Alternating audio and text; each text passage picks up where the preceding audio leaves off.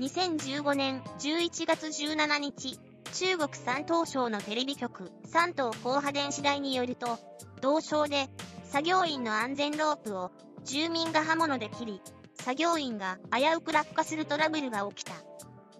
市政府は、老朽化した家屋の補修を進めており、作業員は、ロープで吊るされていた板の上に乗り、3階部分の外壁塗装をしていた。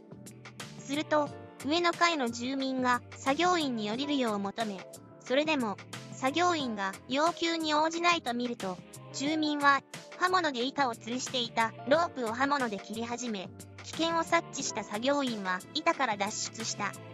ロープは切断寸前まで切られていたという。住民がロープを切るほど不満を覚えた原因は何なのか、報道によると、同マンションでは多くの住民が窓を突出させた作りにしており、住民は空間を広くできるが、作業員にとって出っ張った窓は作業効率を下げる存在。作業用のロープは屋上で固定しているため、ロープの圧迫により突出した窓が破損することもある。